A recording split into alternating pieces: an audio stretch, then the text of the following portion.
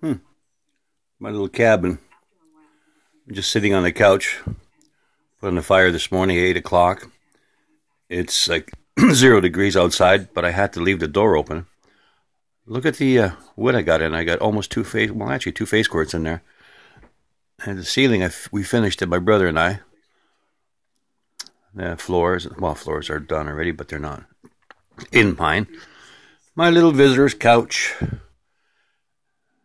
sitting here. It's that's actually a rocking chair. I'm sitting here having a coffee, watching a TV, and that's my window, and my table, my hat. Oh, Canada. and I'm sitting on the on the couch here. Not a big deal, just the couch, another wall back there. So this is just the addition, and inside that door is my trailer. So that'll come at another video. I just thought I'd share that with you guys.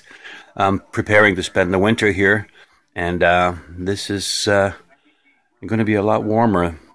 Good luck to anyone who's taken up the uh, idea of spending winter in a cabin or a trailer.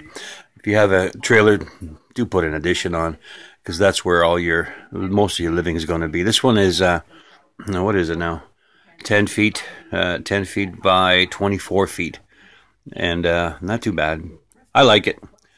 Over and out.